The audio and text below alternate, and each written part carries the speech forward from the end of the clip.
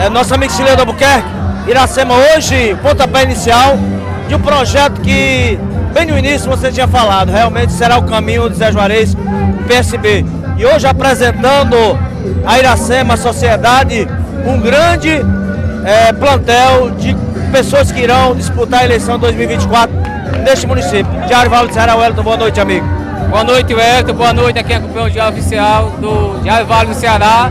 Dizer que hoje foi um grande dia que marcou o início de uma grande caminhada, onde nós apresentamos, através do Partido Socialista Brasileiro, a pré-candidatura do Zé Juarez, que irá, se Deus quiser, voltar a governar esse município pelo trabalho que ele fez, por toda a construção ao longo de sua gestão, que realmente hoje foi um marco que as pessoas mostrou aonde realmente elas irão no futuro próximo. Estarei hoje também na condição de pré-candidato, né, confirmando minha pré-candidatura à reeleição de vereador do nosso município pelo PSB.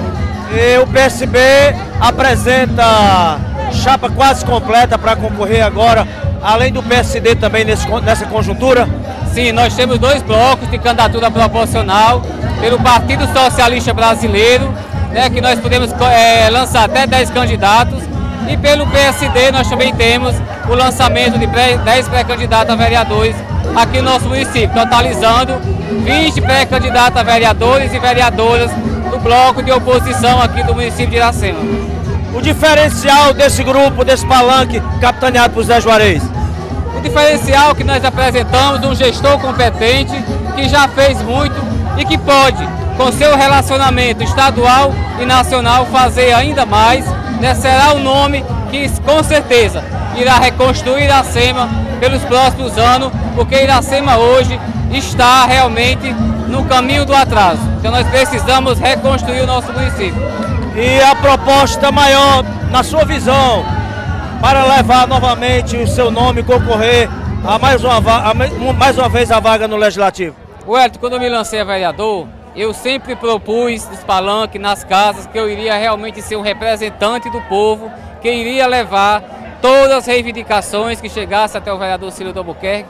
E assim eu tenho feito durante todo o exercício do nosso mandato, fazendo realmente o papel no parlamentar, fiscalizando a administração pública, procurando realmente lançar propostas de projetos que possam melhorar a qualidade de vida do nosso povo e realmente as pessoas de Iracema sabem, meu compromisso sempre foi com o povo de Iracema, com a população que mais precisa que o, que o medicamento chegue aos postos de saúde, que a saúde funcione, que a educação de qualidade funcione, mas que também nós possamos ter uma merenda de qualidade nas escolas municipais, que isso hoje, infelizmente, não acontece. Então as pessoas sabem do meu compromisso com ela. Irei levar a minha pré-candidatura mais uma vez dizendo que estarei ao lado do povo e que não sou vereador de prefeito, nem vereador de oposição, sou vereador do povo de Iracema, independente daquelas pessoas que votaram em mim ou não. Sempre estarei na Câmara Municipal levantando as reivindicações e trazendo à tona e dando ciência às pessoas as reivindicações que chegam até a gente. Você esteve um período à frente de secretaria no município e a sua saída bem antes desse processo eleitoral, isso mostra independência, desprendimento do poder, que não é uma pessoa, um jovem que está na política por causa do poder e seria por causa é, de que é, podemos dizer assim?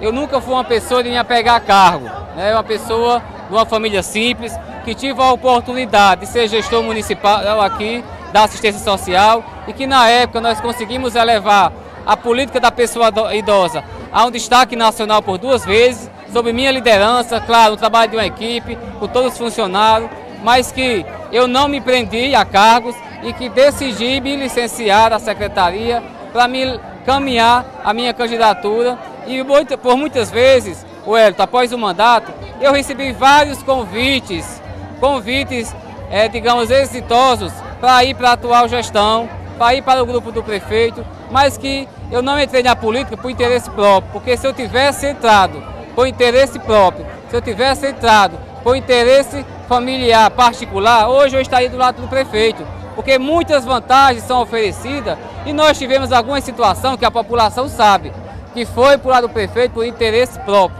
E eu não, estou aqui com muita garra, com muita determinação, nunca mudei de lado, sempre estive ao lado de Zé Juarez. E irei caminhar com ele, com o nosso grupo político, mostrando que o nosso grupo político reúne todas as condições necessárias para transformar, para trazer Iracema para o desenvolvimento, para trazer Iracema a reconstrução e que Iracema realmente precisa dar essa oportunidade a esse grupo político que já administrou por oito anos e que fez uma diferença diante de toda a sua história aqui de emancipação política. Nós temos a maior, maior liderança, o candidato mais capacitado, mais competente, mais experiente e que tem bons relacionamentos na esfera municipal, na esfera estadual e na esfera nacional. Juarez representa um, um projeto amplo, um projeto que vai defender realmente Iracema como um todo, o Iracema do crescimento, o Iracema do desenvolvimento. As suas considerações, o que é que você espera desta eleição? Eu espero realmente que nós possamos ir às casas da população, defendendo as ideias, defendendo os ideais, propondo políticas realmente propostas de interesse que atenda ao nosso povo e que realmente nós possamos fazer uma política respeitando o Estado Democrático de Direito. Na proposta, e aí com certeza as pessoas terão a oportunidade de fazer valer o seu direito democrático e eu tenho certeza que o povo de Iracema darão mais uma vez a oportunidade ao Zé Juarez de, de, de trabalhar de governar o nosso município e eu estou nessa luta né, como pré-candidato a vereador. As pessoas sabem o meu compromisso, as pessoas sabem o meu trabalho e irei caminhar da mesma forma que eu caminhei toda a minha vida pública até aqui. Apenas a visão é a mesma. Não irei mudar por interesse próprio, porque hoje eu estou aqui porque eu acredito nesse grupo e acredito nas pessoas que estão ao nosso lado.